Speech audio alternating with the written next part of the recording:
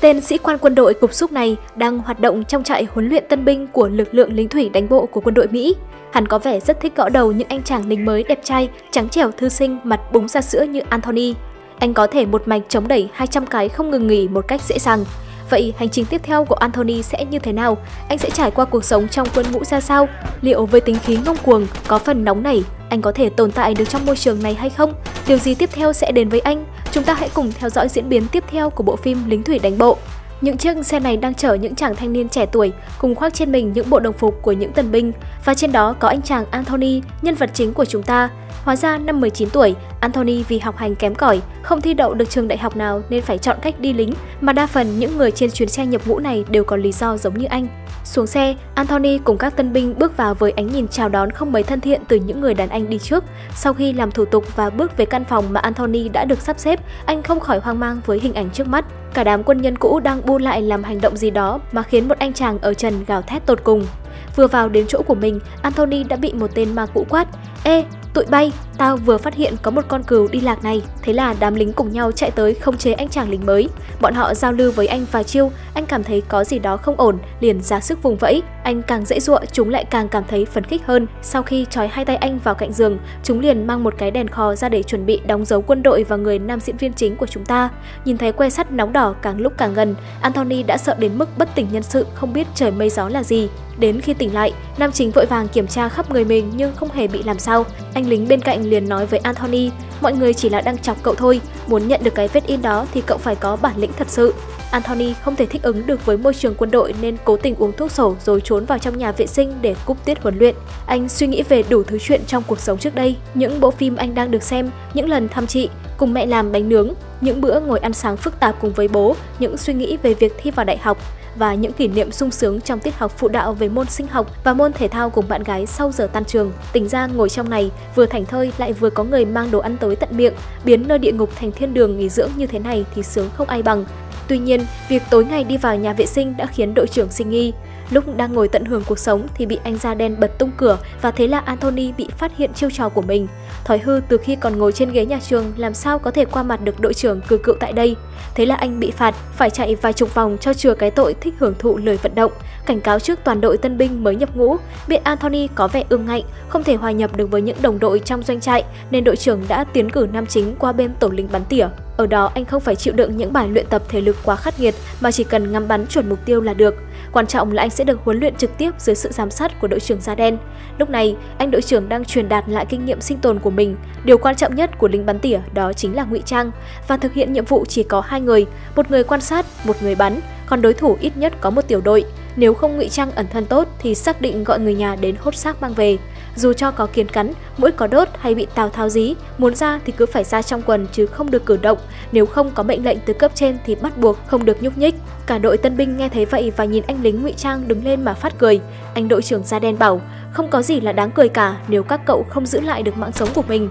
Trải qua 3 tháng thao trường huấn luyện gian khổ, đổ mồ hôi, sầu nước mắt, rơi cả máu và đầy cả những vết thương, cuối cùng chỉ có 8 người đạt yêu cầu trong đội lính bắn tỉa của lực lượng thủy quân lục chiến.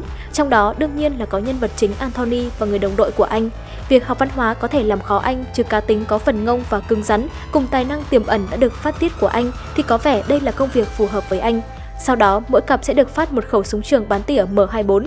Với tài năng của mình, kỹ thuật ngắm bắn của Anthony giờ đã đạt đến trình độ thượng thừa. Anh cũng dần dần bắt đầu thích cái cảm giác ngồi rình con mồi rồi bắn xuyên táo kẻ địch từ khoảng cách xa cả ngàn mét này. Vì vậy, nam chính vô cùng kỳ vọng mình sẽ được ra chiến trường để cống hiến cho tổ quốc của mình. Chẳng mấy chốc cơ hội đó đã đến, tại chiến trường Trung Đông xa xôi khi Iraq chuẩn bị đem quân xâm lược Kuwait. Mỹ và các đồng minh của mình cũng bắt đầu điều động lực lượng để thực thi công lý, duy trì hòa bình theo lời kêu gọi của Hội đồng Bảo an Liên Hợp Quốc, nhưng thực chất cũng còn nhiều lý do khác để khích lệ tinh thần chiến đấu của những chàng trai trẻ chưa từng xông ra chiến trường đầy nguy hiểm và chết chóc. Quân đội Mỹ đã sử dụng những thước phim về chiến tranh, những hình ảnh dũng cảm, sự hy sinh của những người lính bảo vệ cho công lý, cho đất nước để trình chiếu cho họ xem. Những người lính trẻ này không biết sự thật đằng sau cuộc chiến đó là gì. Họ chỉ nghĩ đơn giản là mình sẽ rất trận để cống hiến cho Tổ quốc nên tỏ ra hết sức hào hào hứng khi nhận được nhiệm vụ tham chiến. Rất nhanh, chiến tranh vùng vịnh đã xảy ra. Lúc này, Anthony cùng với đồng đội được đưa đến bán đảo Arab để thực hiện chiến dịch lá chắn sa mạc. Sau bao nhiêu ngày tháng bị nhốt trong doanh trại huấn luyện, toàn những tên đầu đinh với các cây súng ống và lựu đạn, thì các cậu trai trẻ đã được nhìn thấy các chị em tiếp viên hàng không xinh đẹp trên chuyến bay đến vùng vịnh.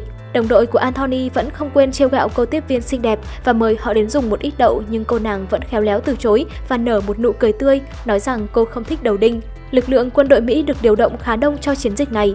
Nam chính lần đầu ra chiến trường vô cùng phấn khích, vừa xuống máy bay, nhìn thấy sự hùng mạnh của nơi này là nhiệt huyết đã dâng tới tận óc. Bọn họ đã tập trung tại doanh trại và bắt đầu nghe buổi diễn thuyết của ngài chỉ huy tại đây. Sau đó cả bọn trở về lều trại của mình và lúc thực sự cảm thấy hơi buồn tẻ, các binh sĩ lại lấy hình bạn gái ra khoe xem ai xinh hơn, ai có cặp loa hoành tráng hơn. Ở nơi này, họ phải đối mặt với hơn 800.000 binh lính địch, nhưng đen đủi thay, Anthony và đồng đội cùng được huấn luyện với anh lại không được cử ra tiền tuyến. Nhiệm vụ của anh và đồng đội rất đơn giản, đó chính là bảo vệ những mỏ dầu mà quân đội đang chiếm đóng. Cuộc sống ở đây rất khô khan và bắt đầu nhàm chán. Mỗi ngày những người lính phải đi tuần tra trên một sa mạc, không một bóng người, sau đó thì luyện tập bắn tỉa rồi lại xếp hàng tới cây mà chẳng có một cái cây nào ở chốn sa mạc đầy nắng và cát này.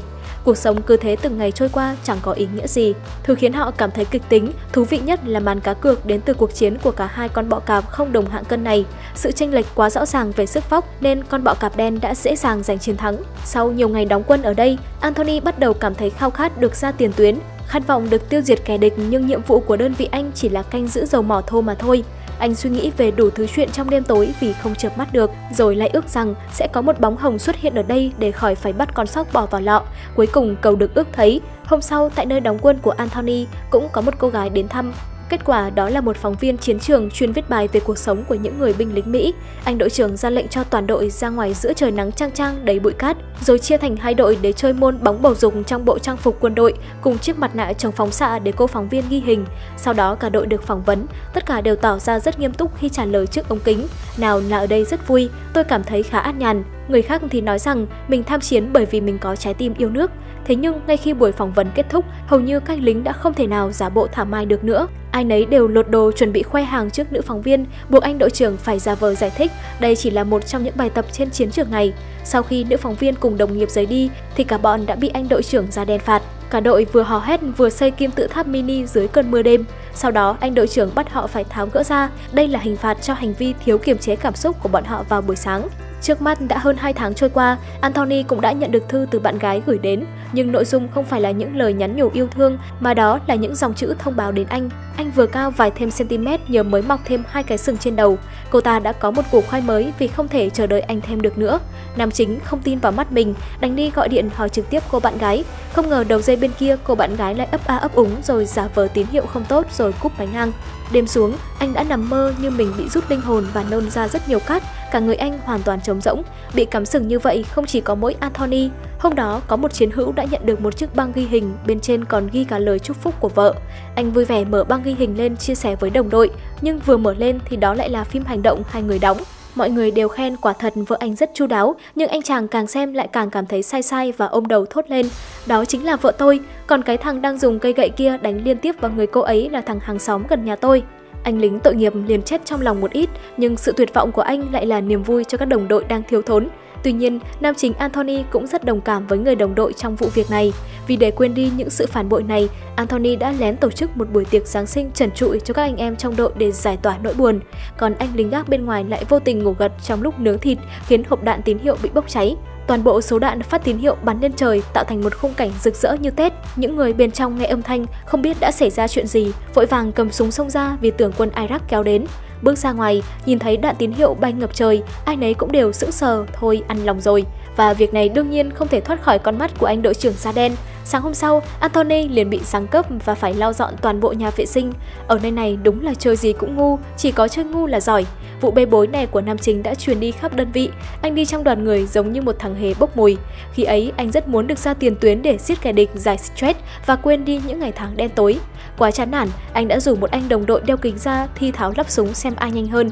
Khi chiến thắng, anh đã chĩa súng vào anh đồng đội tội nghiệp kia ham dọa. Sau đó với tinh thần bất ổn và ức chế của mình sau bao nhiêu ngày qua, anh đã van xin người đồng đội đeo kính hãy bán anh chết quách đi cho rồi. Anh đồng đội khóc lóc vì không thể làm được gì cả và Anthony cũng đành bỏ đi. Sau đó cả đội đi tuần tra trên sa mạc và phát hiện có những vị khách lạ đi cùng những con lạc đà đi ngang qua. Và đó chỉ là những người dân thường bị chiến tranh làm mất nhà mất cửa, phải đi nơi khác lánh nạn. Quá chán nản với công việc hàng ngày, cả bọn rất mong được trực tiếp tham gia vào chiến trường. Chẳng mấy chốc cơ hội cũng đã đến, cấp trên cuối cùng cũng thông báo họ được phép xuất trận. Chiến dịch lần này có tên là Bão táp sa mạc. Mỹ cùng đồng minh đã điều động hơn 500.000 binh sĩ đến Iraq, đánh dấu một cuộc chiến quy mô lớn xảy ra. Anh đội trưởng da đen phổ biến kế hoạch xuất quân cùng với những vấn đề cần lưu ý tại chiến trường khi giao chiến cho các cậu trai trẻ. Trong chiến dịch này, quân đội Mỹ đã cho cả thế giới thấy được sức mạnh vũ khí của mình khi ném bom giải thảm bằng định vị toàn cầu của mình. Thời đại biển người đi đánh trận đã xưa như diễm rồi, binh lính còn chưa kịp nổ phát đạn nào thì cuộc giao tranh đã kết thúc. Đội của Anthony khi ra đến nơi, họ chỉ có nhiệm vụ là đào hố đóng quân, mỗi người một cái hố lớn rồi trốn vào bên trong chờ lệnh. Rất nhanh kẻ địch đã phát động tấn công mưa bom, bão đạn, bay vượt qua trên đỉnh đầu Anthony và các đồng đội. Tất cả mọi người đều cuống cuồng tìm chỗ núp, nhưng không ngờ Anthony lại đứng thẫn thờ tại chỗ. Lúc chưa ra chiến trường thì rất khát khao, muốn bắn, muốn giết kẻ địch, đến khi ra rồi thì lại không biết phải làm sao. Cho đến khi loạt mưa bom bão đạn này qua đi, Nam Trình mới giật mình, phản ứng lại thì phát hiện mình đã tè cả da quần. Đồng đội hỏi anh có bị làm sao không? Anh đội trưởng chạy đến và lệnh anh phải di chuyển đến chiếc xe tải để lấy thiết bị thông tin báo về cho ban chỉ huy. Anh chạy một mạch vượt qua những làn đạn pháo của địch đến được chỗ cần đến và liên lạc về căn cứ. Lúc đó quân địch cũng đã rút lui sau sự oanh tạc của các chiến đấu cơ của Mỹ. Anh cùng đồng đội di chuyển tiến sâu vào khu vực của địch, cuối cùng cũng tìm thấy nơi đóng quân của kẻ địch. Chỉ là không ngờ, nơi đây giờ đã trở thành một bãi tham ma khổng lồ, cảnh tượng hoang tàn, những đống phế liệu cháy nát, xác binh lính cháy đen khắp nơi và không còn nguyên vẹn. Một cảnh tượng rùng rợn trước mắt những người lính trẻ từng hào hứng muốn xông ra chiến trường. Sinh mạng con người giờ chỉ còn là một đống tro tàn, người thì bị cháy đến không còn nguyên vẹn thân xác. Ngay lúc này, phía xa xa đột nhiên bốc lên những cột khói đen ngùn ngụt. Thì ra trước khi rút lui, quân Iraq đã đốt cháy các mỏ dầu. Họ nghĩ rằng làm như vậy vừa để quân Mỹ không thể sử dụng được các mỏ dầu, vừa lợi dụng khói bụi sẽ che khuất tầm nhìn và tránh khỏi máy bay trinh sát từ trên cao của Mỹ. Tuy vậy, nó chỉ đạt được mục đích ở vế đầu tiên mà thôi. Không lâu sau đó, bầu trời đã đổ một cơn mưa dầu mỏ. Cảnh tượng này giống như trái đất đang chảy máu vậy. Đến khuya hôm đó, sa mạc vàng rừng đã bị dầu thô nhuộm thành màu đen. Lúc này, một con ngựa từ đâu đến trước mặt Anthony, anh bất giác đưa tay lên vuốt ve cơ thể đầy dầu của nó. Sau khi con ngựa rời đi, nam chính đã đứng thẫn thờ ở đó rất lâu. Có vẻ như từ những hình ảnh anh đã chứng kiến ngày hôm nay, nó đã động lại trong anh khá nhiều điều đáng suy nghĩ về chiến tranh. Trong đêm, Anthony bắt đầu trầm lặng hơn sau khi nghe những lời chia sẻ của anh đội trưởng. Ông vốn có một cơ hội làm việc lương cao, trốn trong văn phòng có điều hòa, nhưng ông đã từ chối vì ông thích việc này hơn. Anthony lúc đó cũng hiểu được mùi vị của chiến tranh là thế nào. Sáng hôm sau, với sức mạnh tuyệt đối của quân đội Mỹ lại tiếp tục tiến về phía trước. Đến được điểm đóng quân, đại tá nói rằng mình cần một lính bắn tỉa giỏi nhất để đi đến tháp điều khiển sân bay, bắn chết hai tên lãnh đạo cấp cao của quân địch. Và anh đội trưởng da đen đã chọn Anthony và May. Cả hai rất vinh dự được nhận nhiệm vụ này. Hai người sau đó đều tỏ ra rất phấn khích vì cuối cùng cũng có cơ hội được lập công. Họ bắt đầu xâm nhập vào hang ổ của địch, mục tiêu nhanh chóng lọt vào tầm ngắm của nam chính. Lúc này chỉ cần bóp cò là tên chỉ huy địch sẽ lên bàn thờ ngắm gà khỏa thân. Nhưng khi Anthony định nổ súng thì đột nhiên anh đội trưởng da đen lại xông vào ngăn họ. Anh đội trưởng bảo khi cậu bắn một phát thì sẽ kinh động và tên còn lại sẽ trốn thoát. Vì vậy kế hoạch đã thay đổi. Không quân sẽ tiến hành giải thảm trên cao cho nên sẽ không cần phải lãng phí một viên đạn làm gì. Điều này khiến cả hai thất vọng tràn trề. May, người đồng đội của Anthony nổi cơn điên và giật lấy chiếc điện thoại của đội trưởng đang gọi về cho sở chỉ huy báo cáo tình hình để giải bom và nói nếu chỉ cần ném bom là xong, vậy điều chúng tôi đến nơi khỉ ho có gáy này để làm gì? Anh đội trưởng da đen cũng phát nóng và nói rằng sẽ đuổi anh ra khỏi quân đội. Nếu không có sự ngăn cản của Anthony thì có vẻ sự việc đã đi xa hơn. Vừa mới căn ngăn xong thì máy bay ném bom cũng đã tới. Nơi nó đi ngang qua đều trở thành bình địa, thứ mà nó để lại chỉ có sự hoang tàn, đổ nát và xác người. Hai tên lãnh đạo của địch cũng chỉ còn lại là đống cho tàn. Đợi khi màn đêm buông xuống, Anthony và đồng đội buồn bã trở về nơi đóng quân. Bao nhiêu ngày tháng cực khổ được huấn luyện lại không được sử dụng kỹ năng của mình ngoài thực tiễn. Cả hai rất tức tối, nhưng đó là lệnh của cấp trên, biết làm sao bây giờ. Tuy nhiên, khi về gần đến căn cứ thì tiếng súng lại vang lên đùng đùng. Nam chính và đồng đội cảm thấy vừa hồi hộp, vừa phấn khích vì nghĩ rằng quân đội Iraq đã tấn công đến đây. Nhưng khi gần đến nơi, họ phát hiện ra quân đội đang đốt lửa mở tiệc ăn mừng vì chiến tranh đã kết thúc rồi. Cả Anthony và người đồng đội Mai như chết lặng vài giây, không biết nên vui hay nên buồn khi mình là lính ra chiến trường bao nhiêu ngày tháng nhưng lại không nổ được một phát súng nào. Những người lính có mặt ở đây đều chẳng tiêu diệt được bất kỳ kẻ địch nào cả. Người giống như Anthony thì có rất nhiều, họ mang tâm lý hùng hổ đến đây đây vậy mà cuối cùng lại trở về tay không, cho nên họ chỉ có thể cầm súng xả đạn lên trời để giải tỏa tinh thần. Rất nhanh, Anthony và các chiến hữu đã quay trở về quê nhà. Mặc dù nhận được sự hoan nghênh nhiệt liệt như những người hùng của dân tộc, nhưng họ lại không thể hòa nhập hoàn toàn được với cuộc sống bình thường. Bất luận họ giải ngũ và làm những công việc khác nhau thì trái tim họ vẫn thuộc về chiến trường. Đối mặt với câu hỏi anh ở tiền tuyến giết được bao nhiêu kẻ địch hay anh có bị thương không, nhưng đối với một người lính chưa từng nổ súng tiêu diệt địch như Anthony thì kiểu câu hỏi này khiến anh rất bối rối.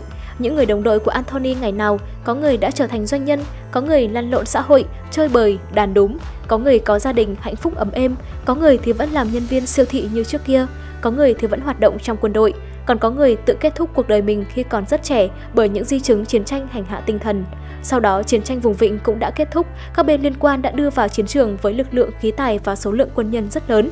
Hàng chục vạn binh lính của hai bên đã hy sinh và hàng trăm vạn người bị thương và gần chục vạn người dân thường đã chết. Cùng với đó là sự tàn phá cơ sở hạ tầng nặng nề ảnh hưởng đến môi trường và khí hậu của cả hành tinh này và rất nhiều di chứng là hậu quả của chiến tranh để lại cho cả những người chiến thắng hoặc thua cuộc.